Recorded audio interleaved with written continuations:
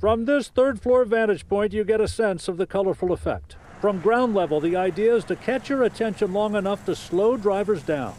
Dwight Price is all for it, but also argues for one of those old school remedies.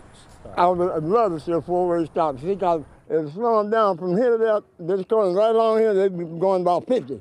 Sure enough, street art notwithstanding, there's some zooming going on.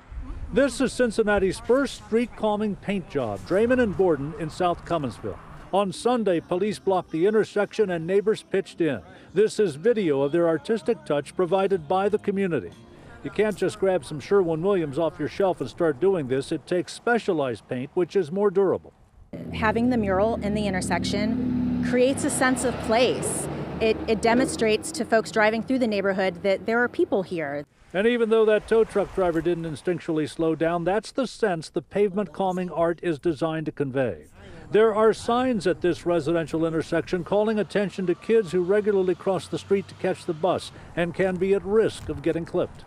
I pray to God that that don't happen. This mural, it gives some attention. It's getting a whole lot of attention now. It has to be at least 55 and dry to do this, so it'll be next spring before the next design is painted somewhere. Folks here figure it's worth a try. Slow the traffic down a little bit more, and it's still, like you say, with the bright colors, it makes the neighborhood brighter. And looking live here, it doesn't have to be this design. It can be any design as long as it's not too distracting or giving the wrong impression, something like hopscotch or something like that. They have tried this in other places St. Paul, Portland, Baltimore. In Cincinnati, it's South Cumminsville leading the way. Reporting live, John London, WLWT News 5.